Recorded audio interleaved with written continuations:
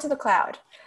Okay, hello everyone. Thank you all so much for joining us for the Montana State Library website chat. Um, my name is Amelia Kim. I am a lifelong learning librarian and I'm filling in for Joe Flick today.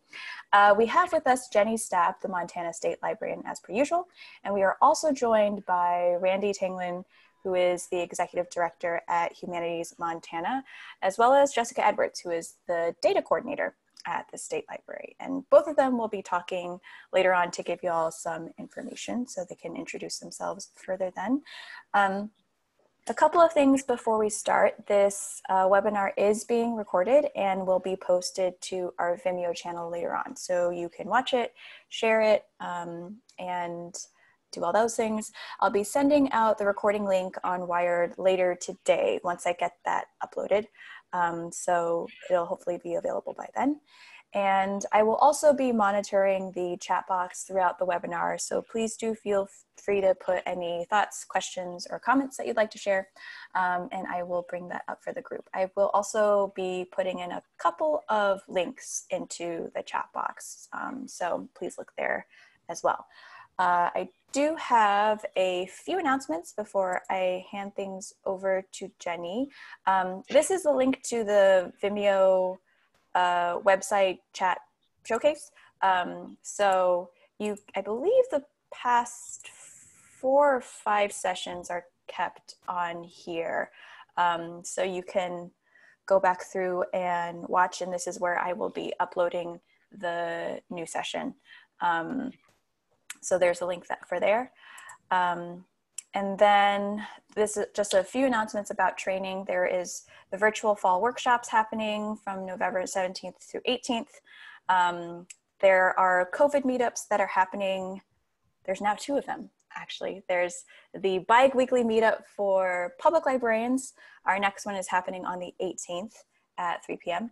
And then there's also going to be school librarian meetups. We haven't yet scheduled the next school librarian meetup. I believe that will be happening sometime in September, but keep an eye out for an announcement about that on Wired. Um, and then also the Association for Rural and Small Libraries. I was like, oh, I think that's what the S stands for, um, is having their virtual conference from September uh, 28th to October, something, I can't see it behind my, October, October 2nd. Um, so we've awarded 25 grants to librarians, but anyone is welcome to sign up um, on their website. So if you want more information about that, please feel free to reach out.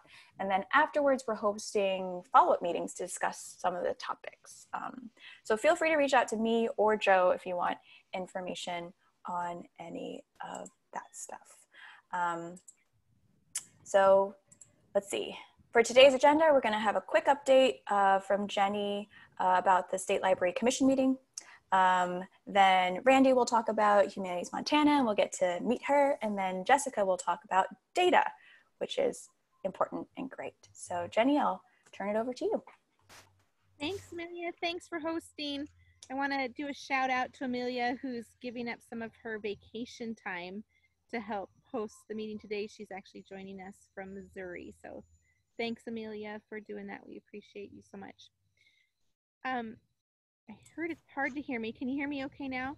It's getting a little windy out. I'm trying to sit outside and the wind is picking up. So if it gets bad, I'll, I'll move inside. Uh, I'm just going to sh quickly share my screen so that uh, I have a chance to remind you about some of the resources that are available from the State Library website when we talk specifically about the commission meeting. Can everybody see the agenda from this week's commission meeting? Yes, I can see it, Jennie. Uh, people are still saying it's a little hard to hear you. I don't know if it's possible to like, I don't know, hold your computer a little closer to you or maybe that might help, but Seems that any any better? Test. I am. I'm not having any issues. Beth said that she turned the volume way up. Um, and if you're listening on a headset, you might want to unplug and plug back in again. That might be that might be helpful. Um, but hopefully that's a bit of an improvement. Okay. Do let me know again if you have trouble hearing me. Okay, I'll keep an eye out. Thanks, Thanks, Amelia. So, as I like to do, I always want to give an update from the commission meeting. The commission held their August meeting this week via Zoom. That meeting was recorded and the recordings will be available online. We have two new commissioners that I'm really excited about. Uh, the first is a gentleman named Dalton Johnson. Dalton lives in Missoula. He is a master's of public administration student at the University of Montana and works for the city of Missoula in their human resources office. Uh, he recently served as a student representative from UM to the Board of Regents. So he has experience serving on important statewide boards. I'm really looking forward to his engagement, particularly around topics of how we help libraries more closely engage with your local governments on issues of public administration. And then the second new commissioner is certainly no stranger to any of us. Connie Behe, the director of ImagineIF Libraries, is our newest commissioner, um, joining Dalton. Both of these new commissioners attended their first meeting on Wednesday. They'll be going through some additional orientation. And just a reminder that the commissioners are appointed by the governor, they serve for three year terms and Dalton and Connie are replacing Ann Kish and Aaron Boy, who went off the commission this summer. So, very grateful to Ann and Aaron for all of their hard work. They both served on the commission for six years, and happy to welcome Connie and Dalton to the commission. Um, commission materials are available again from the State Library website. Let me uh, move my navigation around. Um, if you just go to msl.mt.gov, um, you'll see the link to the commissions and councils and to the State Library Commission with links to the agenda and the documents that they reviewed and the reports that they heard. In particular, the August meeting is when we do a lot of our annual work planning with the State Library Commission. So it was a chance for our staff to share accomplishments from this last year and to talk about the priorities for the coming year. Uh, and I wanted to just take a, a, moment to draw your attention to the publications page for the State Library website. I'm just going to scroll up here.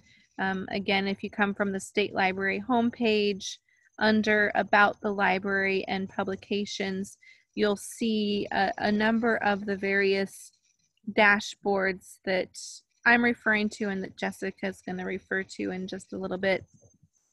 Uh, in particular, we have a dashboard where we document our work plan priorities as an agency and the status of our work. This is a great tool for us to do planning as well as to communicate to our stakeholders and our commission about the work that we're doing, the resources necessary to do that work, um, uh, and how successful we are.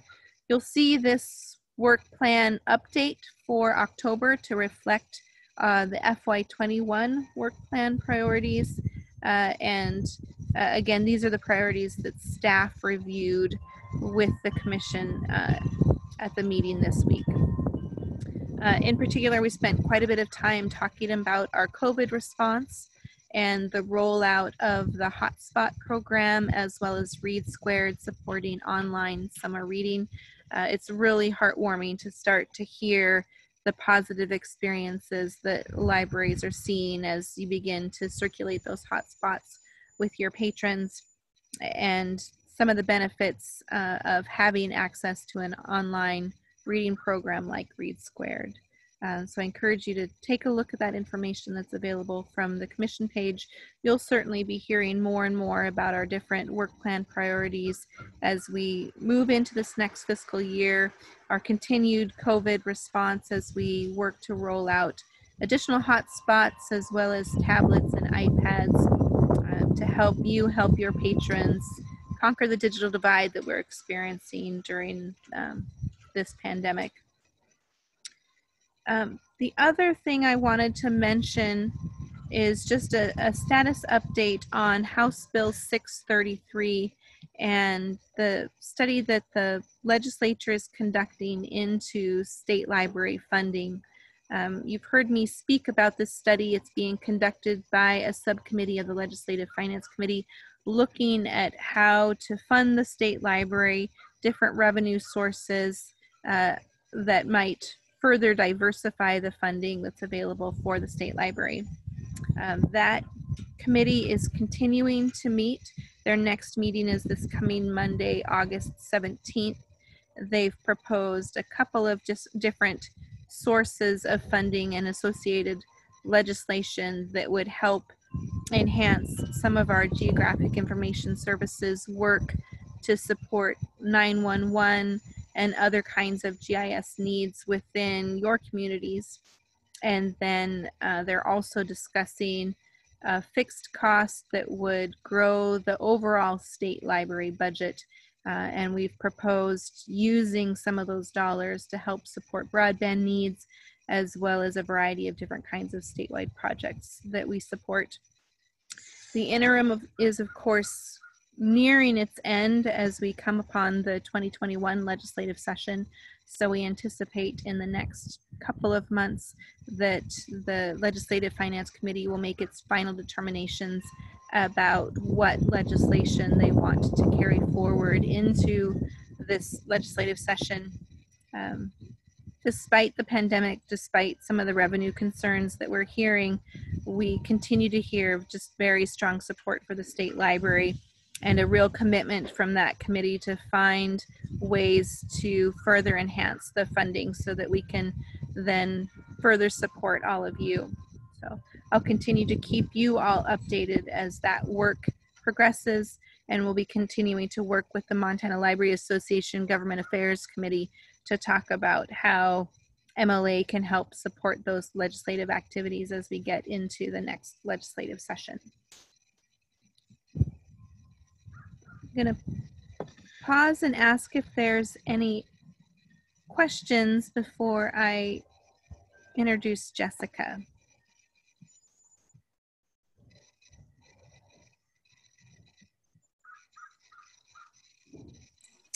Nothing in the chat box so far, Jennie, um, but uh, I did drop in the link to the work plan if people would like to click on that and take a look. Appreciate it. Thanks, Amelia. So I asked Jessica to join us today to talk about some updates to the public library statistics as well as a new public library statistics dashboard that we're very, very excited about. We had a little bit of a hiatus for a year or so in our ability to support uh, access to the public library statistics that you all submit to us that we in turn submit to the Institute for Museum and Library Services. We lost some of our staff who were responsible for collating all of that data and making the public library statistics tools available to all of you. And some of you will recall that last year we actually granted an exception to one of the public library standards that mandates that libraries use those statistics to help in your overall planning because we didn't have the ability to provide access to that data resource. So I'm just really pleased that we now have Jessica who's responsible for helping collect that data and is doing just a fantastic job creating different kinds of visualization tools that will help you uh, better understand that statistical data, put it in context for all of you, and hopefully make that a really, really useful data resource to help you in your overall planning and evaluation of your work. So, Jessica, thanks for joining us. Sure. Um, should I share my screen or Amelia, are you going to share it? Oh, you're welcome to share your screen, Jessica. Okay. Let me go ahead and actually make you a co host so that you can do that. Yeah, that might just be a little easier. Okay, I believe you should have that privilege now. Mm others. Yes. Okay. Give me one second while I find which screen I want to share.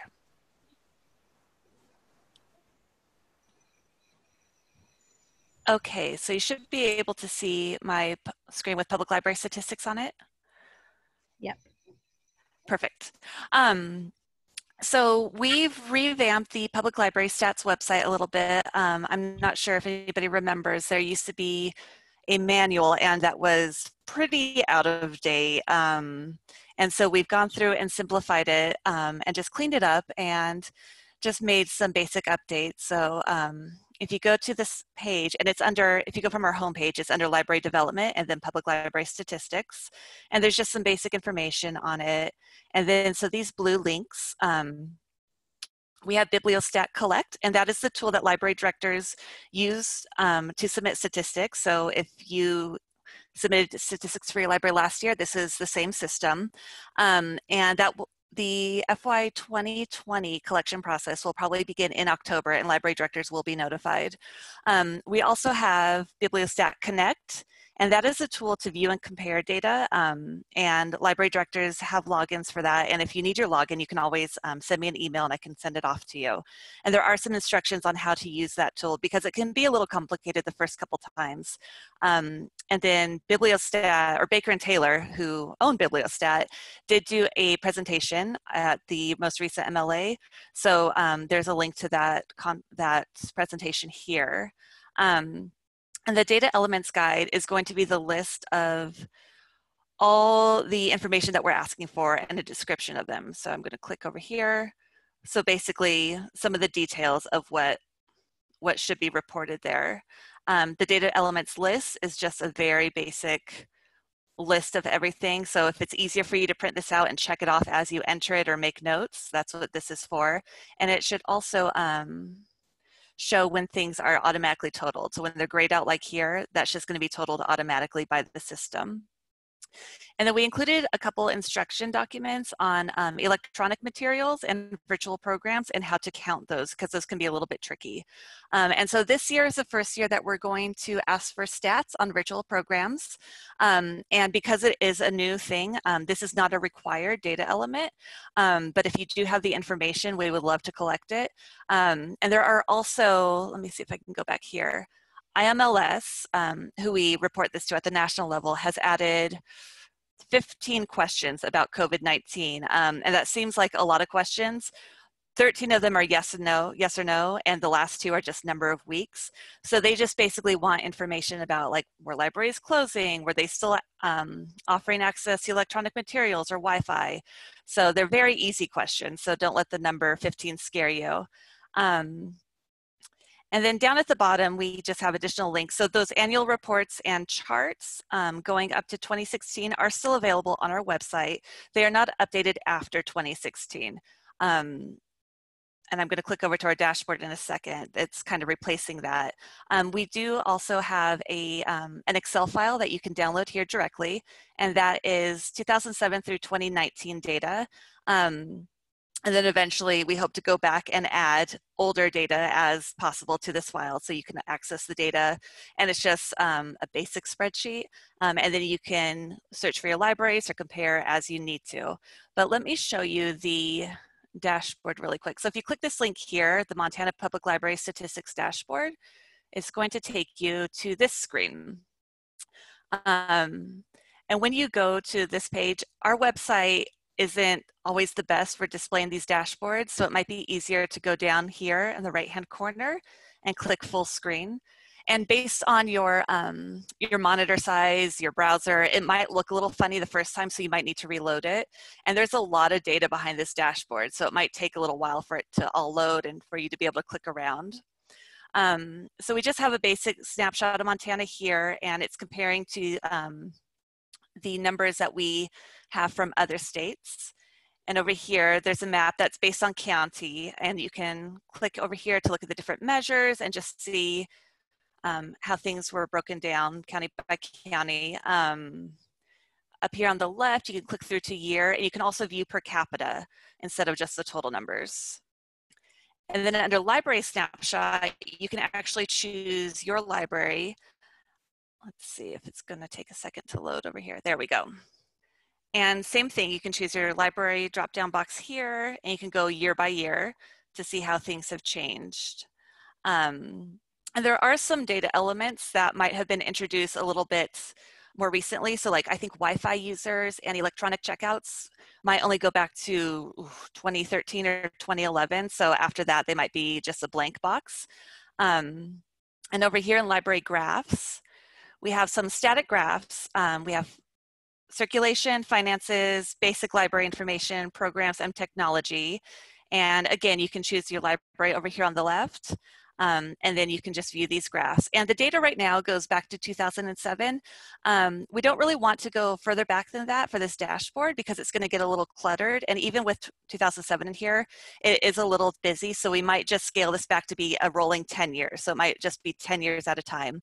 Um, and then over here on compare libraries, you can choose however many libraries you want, and then you choose the measures that you want to compare over here. So if you want physical material circulation,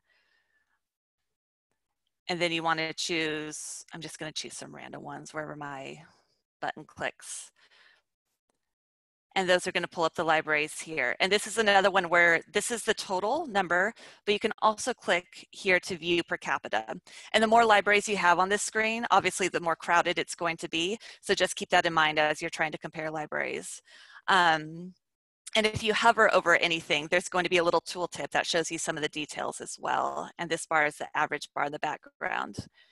Um, and then under national statistics, so um, IMLS offers um, they have all the data for all the states available. It's not broken down library by library, it's broken down by state. So we collected all that data and we just put it in here so we can see how Montana compares to the rest of the country and the rest of the US territories. Um, and this data only goes through 2018. Um, IMLS is a little bit delayed in giving the data out, so we probably won't have 2019 numbers in here until around this time next year. But um, you can choose states and territories by this drop down like you could on the other screens, or you could just kind of drag and drop away and it will automatically pull them up. And you can choose the measures over here. So you can see children's material checkouts. And for 2000, let's see, I think we started collecting children's materials pretty late, so it might not show up for a few. So that was a bad example. So let me choose another one. Total circulation, there you go. Um, so these are gonna be in alphabetical order, but Montana is always gonna be red. So if you do wanna use this, just always look for the red bars. And if you click away, and it should reset. And again, you can click on view per capita here, um, which is going to give you a better idea of how um, Montana is comparing to other states for some of these. Um, and then the last one is data tables. And this is meant to be, um, this is just all the data that's behind the dashboard. As of right now, it's not downloadable directly through this dashboard. Um, there's something with our server setting that's not letting that happen. But all this data is in that spreadsheet that was on the original page. So um, you can access it on that public library statistics page. And then I hope to be able to fix this issue so that you can download it directly from the dashboard as well. But um, we're really excited about this. This is brand new and it's going to change a little bit as we get user feedback, as we discover um, different ways that we can present this information. Maybe it can be a little bit cleaner. Maybe there's stuff that we should be including there. Um, so the look of it might change a little bit. But um, feel free to go in and look around and see how it works for you. Um, and if you have any feedback about things that you should be added, that you think should be added there, or if you notice um, if it's not loading, sometimes things break um, as we do updates. Sometimes things don't get updated all the way. So um, if you do notice anything like that, feel free to send me an email. Um, and yeah, are there any questions on the dashboard?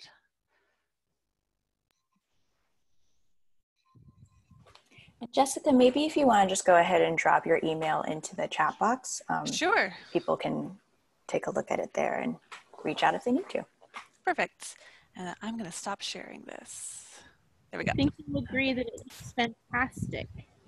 Thanks. Oh, and sorry, I'm one more thing. Um, you can print a view of this. So if you're um, if you want a snapshot of this to show somebody or to embed on your website, um, if you click this download button, you can download it as an image or a PDF, PowerPoint. Um, so you can um, customize it to your library and then print it for whatever whatever needs you have. And if you are somebody who is using Tableau and you want the framework for this, you can email me at that same email address and I can send it over to you. Uh, there's a, oh, sorry, go on. If historical information is available, can you remind us how far the date goes back? So oh, I think we have back to the 90s that we still need to kind of clean up and um, make a little bit more presentable. Um, I don't exactly remember which year in the 90s. But the issue there is, well, not so much an issue, just it does take time to clean it up because things do change and the layouts change and the reporting systems change. So kind of matching it all together is um, kind of a task that I will be doing, but it's not quite there yet. But if you have a specific year that you do want to look at, um, again, you can just email me and I can kind of pull it out for you and see what we have.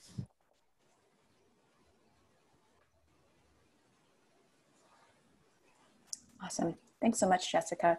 Um, feel free to put any other questions about uh, this data dashboard um, into the chat box. I did want to go back. Uh, Jennie, um, Beth had a quick question about additional hotspots and if there was any news on that.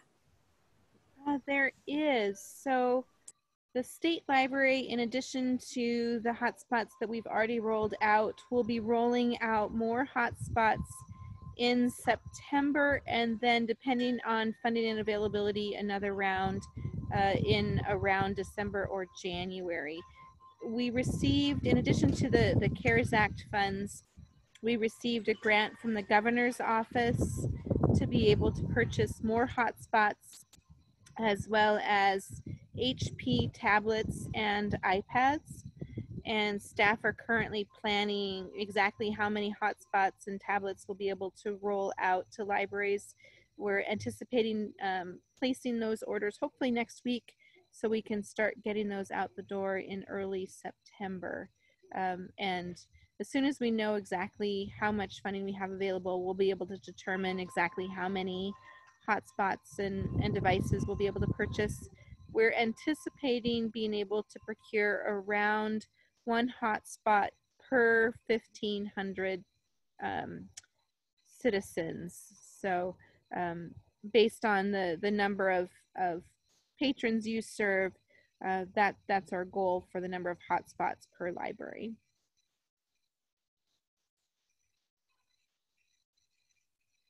You bet. So I'm very excited to be able to introduce Randi Tanglen to all of you. Uh, Randi is the new director at Humanities Montana. And of course, the State Library has partnered with Humanities Montana for many years on a wide variety of projects, including the National Book Festival and the Humanities Speakers Bureau and uh, other programs over the years. Randi is a dear friend of mine. We went to college together at Rocky in Billings many, many, many years ago. And I was absolutely thrilled to learn earlier this summer that she was moving back to Montana to take this new role, knowing that we were going to have an opportunity to work together. So um, we jumped at the opportunity to have her join us in this website chat. So, Randi, welcome. Welcome back to Montana. Welcome to your new role.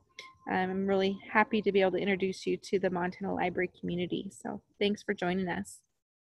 Thank you so much, Jennie. And it's it's just terrific to be here today and to um, be able to to talk with this uh, community of, of librarians. Um, I'll tell you a little bit about my background and um, what I've been doing since I left Montana almost 20 years ago um, what Humanities Montana is working and focusing on right now and um, some in opportunities ways that uh, resources that that we might be able to uh, share with librarians. But um, i moved back to montana after spending 12 years in a small town in texas. I was actually born in sidney montana.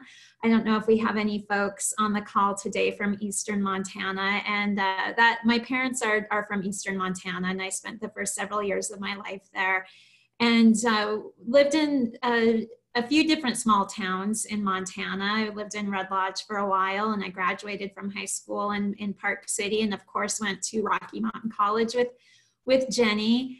And, um, and I've been teaching at a small college in North Texas for the past 12 years. I've been an English professor there. And from all of these experiences, um, you know, living in small communities, I've come to realize just the resource that libraries are to our communities. Um, not only with providing, you know, literacy and access to to books and information, but all of the different services that that libraries provide our communities. And um, especially now at Humanities Montana, I'm so aware of the role of of libraries in, in our states, keeping our state's um, cultural infrastructure healthy. And um, as a faculty member, I gained a, an appreciation for librarians and protecting our First Amendment rights and our freedom of, of speech. And I really, I really believe so much that uh, that healthy library, a healthy library system is just central to a functioning and healthy democracy. And I think this is especially true in our smaller communities. So thank you for, for all the work that you do. Um, right now at Humanities Montana, since I've started, I just started on June 1, uh, by the way. So I moved back to Montana from Texas in the, the middle of the pandemic. But I'm here now in, in Missoula in our offices at Humanities Montana.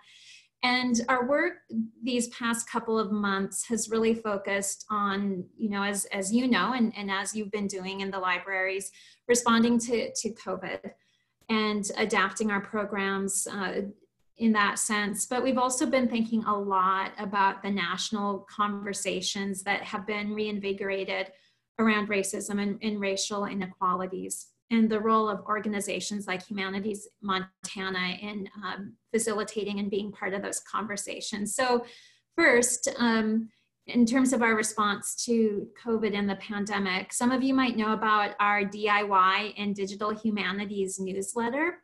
This is a weekly newsletter that we started uh, producing every week. Uh, I think in about mid-March, we started with this and you will find um, that we take turns writing different pieces in that newsletter. So there's a Dear Reader piece that um, members of our staff take turns writing. There's a philosophy section. There are prompts for discussions. Um, and there's always a virtual, there's some type of a video that we've recorded with one of our Montana Conversations speakers or some resource that we've we've gathered from the National Endowment for the Humanities. And we've received some great feedback on that newsletter so far. Um, anecdotally, you know, I've heard from folks who are using those discussion prompts to start conversations within their family, or some people are using the material to supplement um, virtual learning and homeschooling with, with their kids. Um, we had some virtual uh, happy hours, humanities happy hours during the pandemic with our Montana Conversation speakers. Those are recorded and they're on the Humanities Montana webpage um, under Virtual Humanities. Um, and we're currently working, and this is where I think we, we might be able to, to partner with, uh, with libraries. I know many of you have sponsored our Montana Conversation speakers. Uh, we are working with those speakers on creating virtual programs, live virtual programs. And we have temporarily suspended the copay associated with bringing Montana speakers uh, to an organization or to a library because we want to encourage um, these virtual Montana conversations. So if you're interested in that, um, please contact us. You can contact me personally. Um, my email is randi, R-A-N-D-I dot Tanglen at humanitiesmontana.org. And I know many of you have worked with Kim Anderson and Samantha Dwyer in our, in our programming. And, and so we're really, we're really encouraging that. And I think, um, I know that Belgrade Public Library just had a virtual conversation with Hal Stearns last week. So we're hoping that there will be more interest and further interest in those virtual conversations we are actually providing a free training for our Montana Conversation speakers. And, and by the way, for those of you who aren't familiar with that program, if you go to our website, humanitiesmontana.org, and look under Montana Conversations, you'll see a catalog of speakers and you'll see a wide range of topics um, ranging from the environmental humanities, Montana history, women's history, poetry, American Indian history. So um, there, there should be something for kind of whatever type of programming or initiatives that you, you have um, going on in your library. So that's kind of been, we've, we're continuing to respond to COVID. We also have our speakers in the schools program. Some of you may be familiar with that.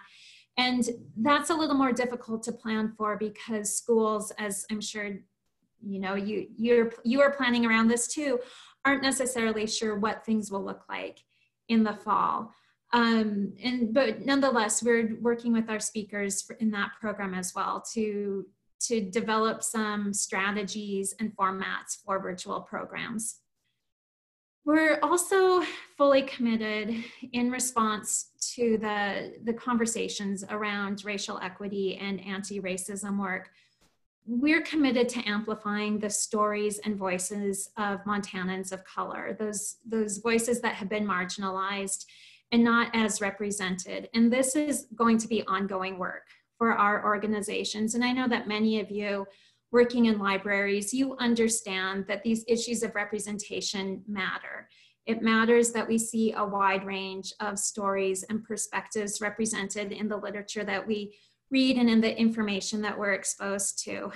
Um, so the work that we've been doing around this has been, um, the first step has kind of been some internal work with some training with our board and with our staff on anti-racism and racial equity work. And I'm hoping that we'll be able to conduct an anti-racism audit of our procedures and our processes here at Humanities Montana and, and um, kind of evaluate our accessibility and develop some strategies for being more inclusive in, um, and to be in that sense then be more of a resource to more Montanans. Um, and we would really love to partner with libraries and librarians who are also committed to these conversations and these types of values.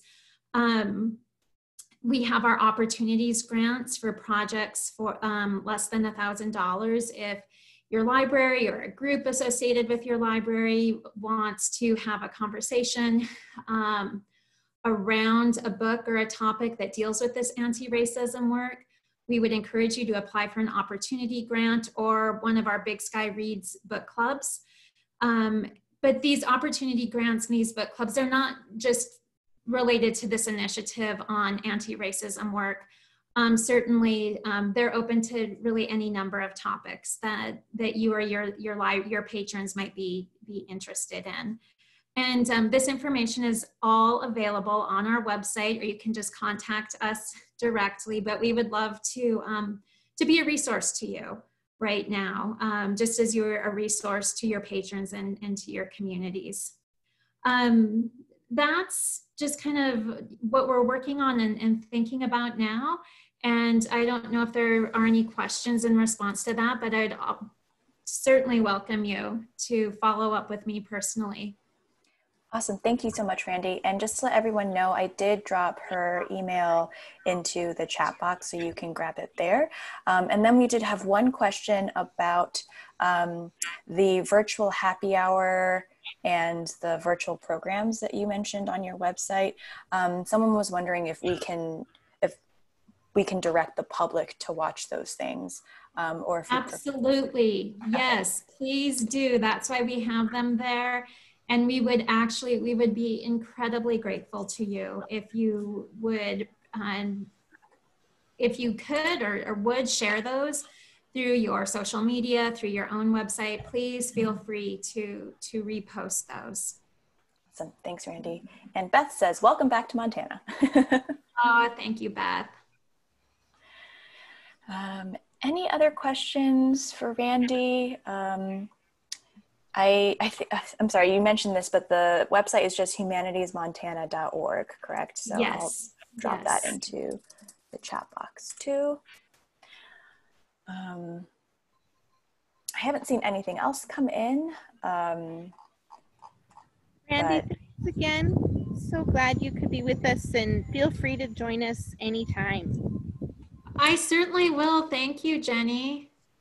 And Gail did say, although the numbers are small because the word is still getting out, we think the virtual programs have wonderful potential and the speakers have been very excited about the opportunity. I believe this is Gail Bacon from Belgrade. So thanks for sharing. Oh, Gail. yes. Thank you. Thank you, Gail. And, and thank you for all of your, the, the work and collaboration you've been doing with us on that. All right, excellent. Um, I guess I will go ahead and stop the recording for now. I think that's all that we had planned for today.